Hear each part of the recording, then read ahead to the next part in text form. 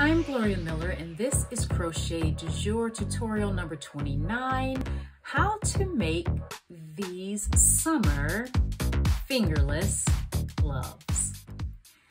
Today's project is super quick and easy and as you can see by my samples, the sky is the limit as to how you want to make your fingerless gloves. I absolutely love them.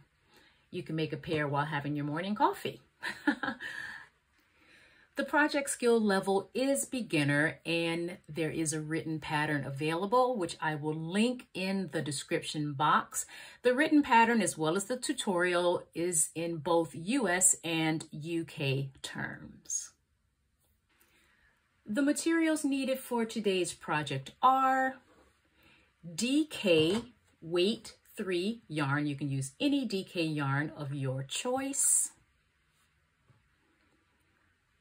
A 5.0 millimeter hook, scissors, yarn needle. The pattern is written for an adult size and it really is one size fits all because they are quite stretchy once they are completed. If you haven't done so already, please do subscribe to my channel and then click on the bell so that you are notified whenever I upload a new video. You can also find me on social media at Crochet Du Jour and I am on Instagram, Facebook, Twitter, and Pinterest. Also, I have started a Facebook group and I would love for you to join me there.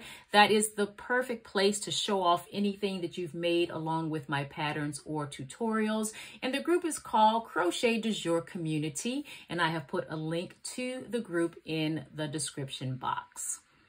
Okay, let's grab our materials and get started. We are going to start by making a slip knot. You can use your preferred method to do that. And then we are going to do a chain of 26. And this is to make an average adult size.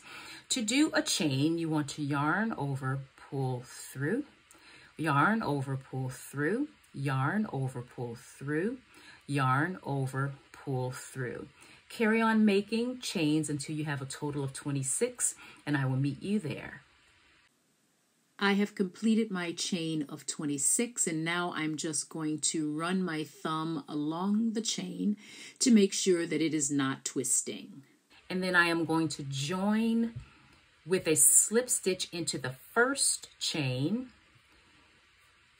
This is to create a circle. So to do a slip stitch we're going to yarn over, pull through the chain and then the stitch that is on our hook. And we're going to be working in the round for this project. For round one, we're going to start with a chain one. And then we are going to do a single crochet in the chain one space to single crochet. We're going to go into the chain or the stitch. Yarn over pull up a loop. We now have two on our hook. Yarn over and then pull through two loops. For the remaining stitches of this round we're going to be working in the back bump.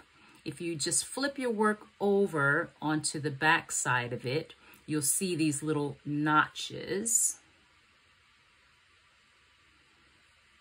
and we're going to be working in those notches and I'll, I'll put my hook in one just so you can see what that'll look like. So we're going to be working in that back bump or notch of the stitch. So we're going to be doing single crochet back bump only. So we're going to go into the stitch, yarn over, pull up a loop. We now have two on our hook, yarn over, pull through two. In the next stitch, we're going to yarn, uh, we're going to go into that stitch, yarn over, pull up a loop. That gives us two on our hook, yarn over, pull through two. So we are just working in those back bumps and I'm using my fingers to pull up that back bump so I can see it for navigating my hook. So I'm going to go into that back bump, yarn over, pull up a loop. I've got two on my hook, yarn over, pull through two. So carry on with single crochet, back bump only, all the way around, and I will meet you at the end of the round. I am at the end of the round and I'm going to finish up by joining with a slip stitch into the first stitch of the round.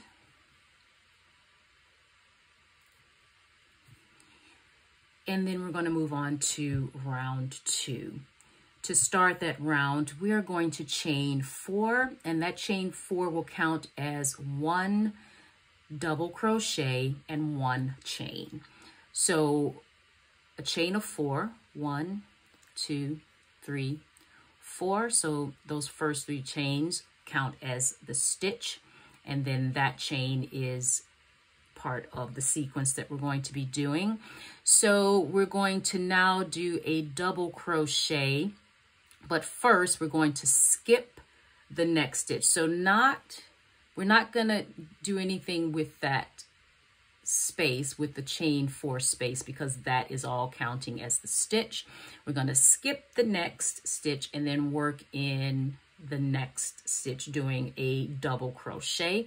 To double crochet, we yarn over, we go into that stitch, yarn over, pull up a loop. We now have three loops on our hook. We yarn over, pull through two, yarn over, pull through two and then we're going to chain one. We're going to skip the next space and then do a double crochet in the next space, yarn over, go into that stitch, yarn over, pull up a loop. We have three on our hook, yarn over, pull through two, yarn over, pull through two. So the sequence for the remainder of this round is chain one, skip one space and then double crochet in the next space.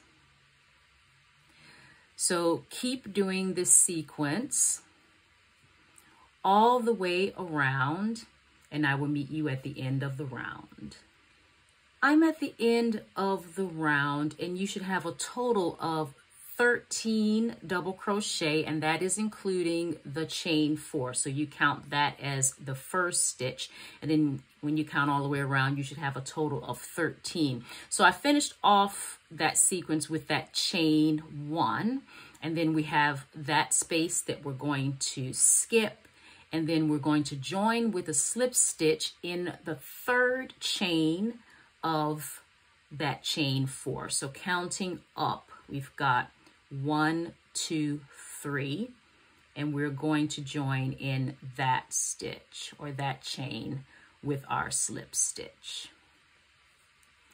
So make sure you have a total of 13 double crochet, including the chain four. For round three, we're going to start with that chain four,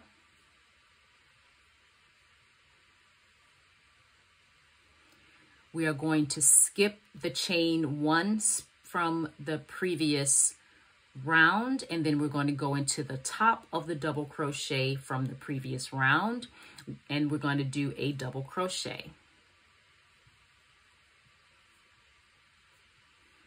Then chain one, skip the chain one space and then double crochet in that next stitch, which is the double crochet from the previous round. So we're going to continue with this sequence all the way around and I will meet you at the end of the round. I'm at the end of the round and I have completed the sequence double crochet chain one. Now I'm going to skip that chain one space from the previous round and then we will finish this round by joining with a slip stitch into the third chain from the start of the round. So one, two, three. We go into that chain with our slip stitch.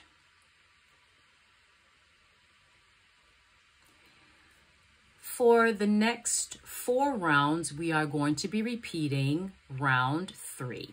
So we do our chain four, skip the chain space and go into the next stitch with our double crochet. Chain one, skip the chain space and then double crochet in the next stitch.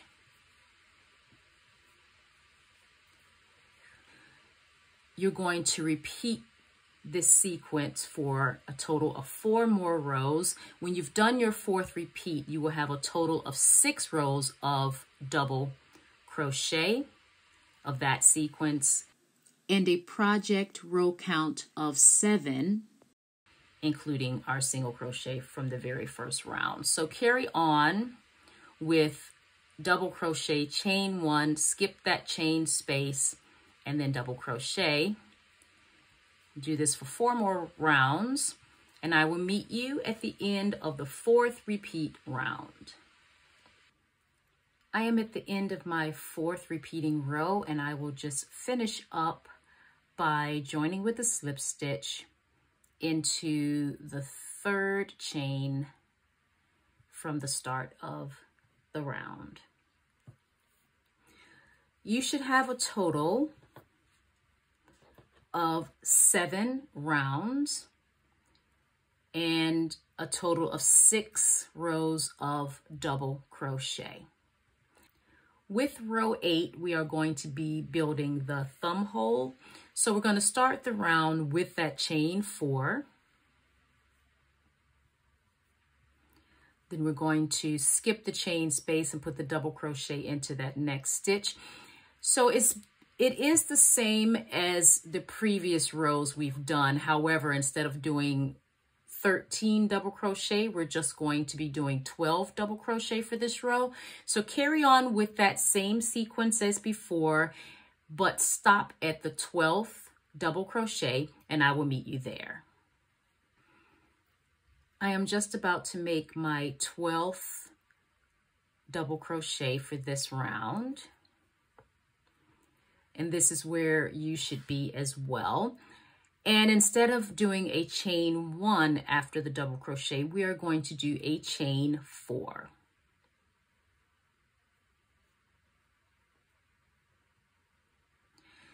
And then we are going to finish off this round by joining into the top of the chain. So that third chain of our chain, beginning chain of the round.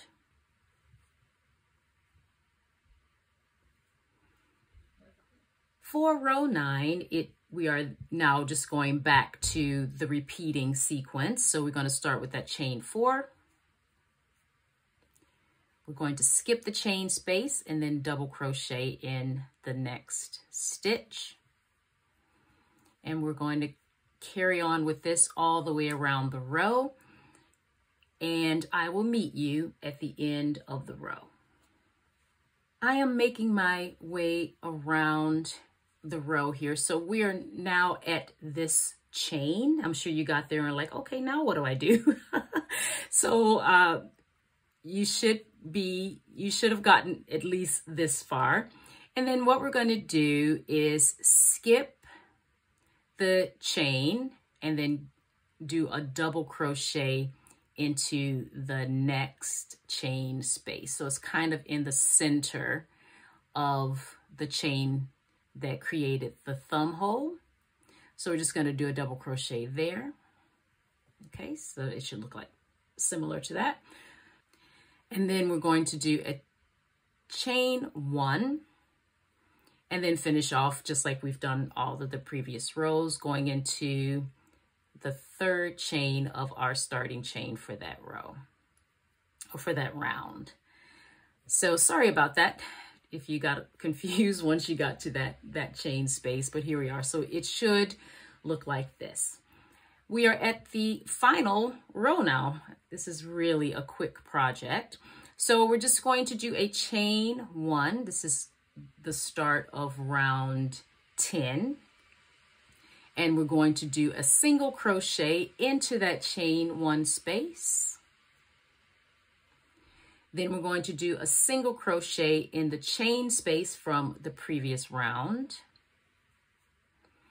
and a single crochet in the top of the double crochet from the previous round. And then for the remainder of the round, we will be putting a single crochet in the chain space and the double crochet from the previous round. We'll be doing that all the way around. So single crochet in the chain space and then single crochet in the top of the stitch. Keep with this all the way around and I will meet you at the end of the round. I'm at the end of the round. I'm going to finish off with a slip stitch into the first stitch of the round. You should have a total of 26 single crochet. And I am now just going to tie off my work.